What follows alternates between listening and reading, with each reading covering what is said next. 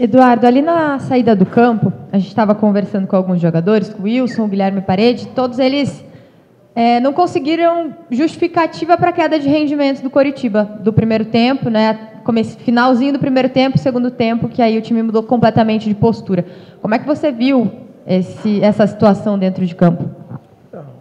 Um, um, um primeiro tempo bom, né? nós criamos chances, fizemos dois gols, é, marcamos bem, né? tivemos ali uma, uma bola longa ou outra, né? uma, uma chance criada pelo, pelo São Bento. No segundo tempo a gente deixou de jogar, a gente deixou de ter a bola, a gente começou a alongar muito, preferiu dar, dar, dar a bola para o adversário e aí a gente deu, nós, nós demos campo ao adversário.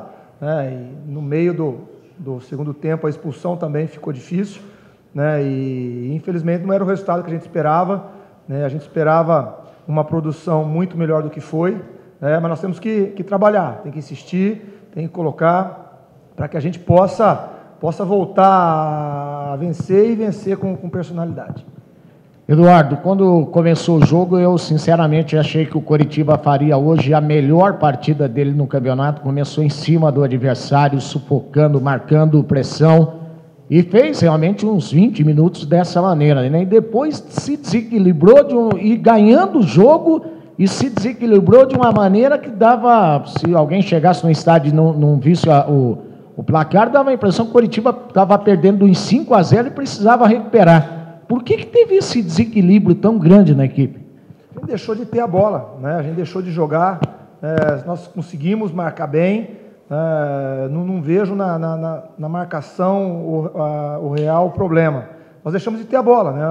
os volantes precisam jogar, né? uma movimentação maior, nós já sabíamos que eles vinham numa marcação individual, e marcação individual você tem que sair dessa, dessa marcação com movimentação, jogar. A gente deixou de jogar. Né? E no segundo tempo, nós tentamos ajustar algumas coisas, mas ainda não, nós não conseguimos jogar, não conseguimos ter, ter a bola.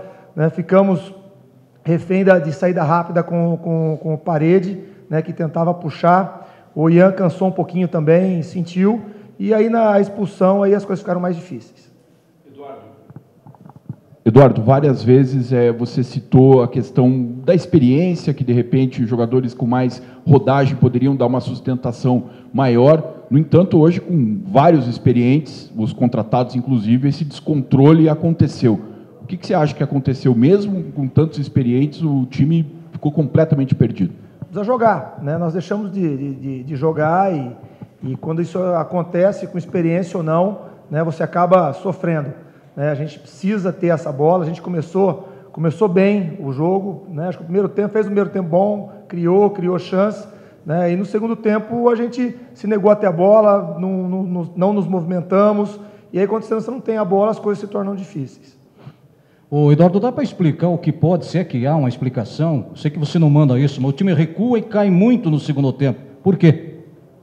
Olha, a gente busca, a gente iniciou uma, uma proposta de jogo de marcar pressão no, no primeiro tempo.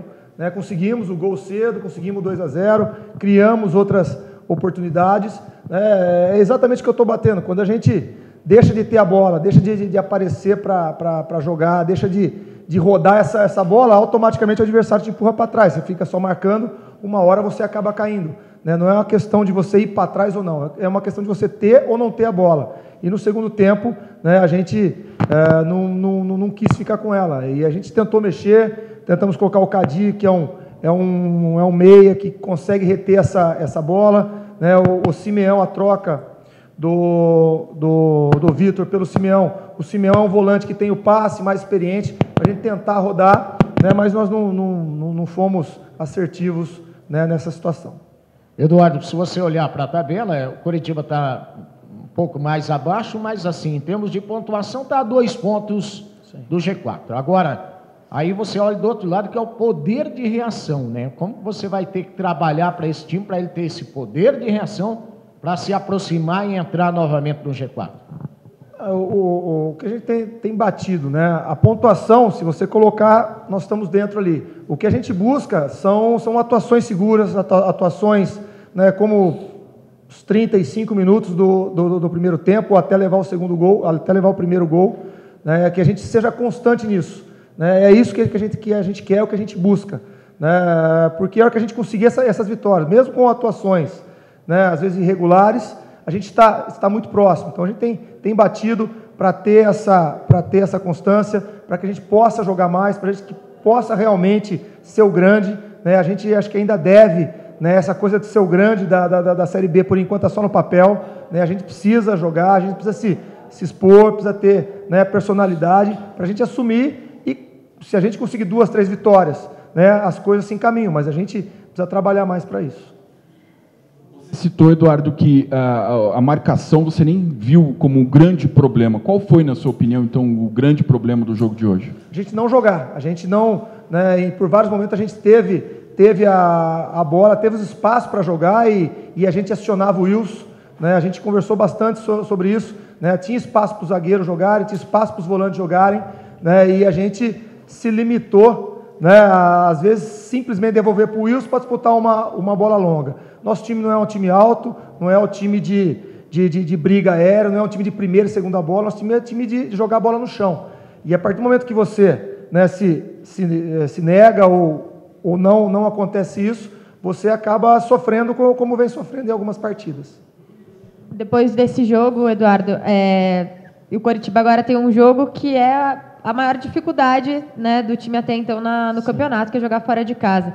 Tem como lidar tão rápido com essa mudança e, enfim, conseguir uma vitória em Goiás? Olha, Curitiba é muito grande e os jogadores que aqui estão têm que ter essa personalidade. Nós vamos trabalhar para isso. Eu acho que houve uma, uma, uma, cobrança entre os jogadores, isso é importante né, no, no, no pós-jogo agora, né, deles saberem que todos nós precisamos fazer mais. Todos nós, e não é fazer em termos de trabalho, não é fazer em mão de obra, né, é fazer em personalidade, de, de encarar a situação de frente, de, de você jogar em um time grande, de você ter imposição, né? são, são coisas que você precisa ter. É, às vezes, quando a gente fala mais trabalho, não é trabalho de mão de obra, não é de treinar mais, não é fazer mais.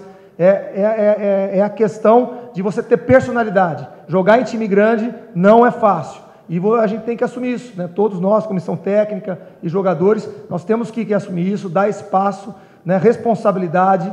Né? São coisas que importantes para quem joga num time como Curitiba. Você perde um jogador muito importante, experiente, fez um excelente primeiro tempo, depois, como todos os demais, caiu também na segunda etapa, que é o, William Corrêa, que foi expulso. Né? Aliás, de uma maneira até também tomou o cartão, depois foi lá e puxou o outro o jogador logo em seguida. E você não tem tempo para trabalhar, porque os jogadores terão folga amanhã, reapresentação segunda para viagem. Como é que você pretende é, fazer para é, suprir essa ausência aí do, do William Corrêa? A gente tem esses dias, né? Você treina situações, você treina, você treina situações com uma menos, você treina situações né, perdendo um. Então o Simeão vem treinando bem, o próprio Júlio Rush vem treinando bem, né? A gente tem o Kiss, tem jogadores importantes que, que, que suprem bem essa, essa falta. Né? Então a gente tem que ajustar a equipe, não tem tempo para treinar, é conversar e, e a gente se, se ajustar é, e, e, mudar a postura. Né? Nós precisamos mudar urgente essa postura. Eduardo, você, é, você, busca, claro, dar rodagem ao time, jogar esse time jogar mais junto. Você falou sobre isso na última entrevista, mas ao mesmo tempo você não pensa em algumas substituições nesse momento, algumas alterações. É, jogadores hoje, é, na nossa visão, William Matheus, Leandro Silva jogaram muito mal. Você pensa em algumas alterações específicas para esse, esse próximo jogo, já que é tão em cima? A gente vai estudar, vai ver o jogo com calma. Né? Você tem dois dias só, você não pode fazer muitas alterações. Né? Algumas ideias a gente tem e vai, vai aguardar. Né? A gente vai aguardar, vai ver. Uh, o time caiu como um todo, né? não podemos botar, jogar a culpa num e no outro jogador. Acho que é o, o todo caiu, né? o todo não, não, rendeu. E às vezes aparece um outro jogador em lances pontuais. Né? Então, acho que né, a gente tem que analisar esse momento de ter, de ter calma, né, de, de ser sóbrio e colocar o melhor time. É, eu ainda vejo o melhor jogador do, do Curitiba vai ser né, a sequência, vai ser os 11 que a gente tem, tem, tem colocado. Lógico que se alguma alteração precisa ser feita, ela, ela, ela, ela vai ser feita.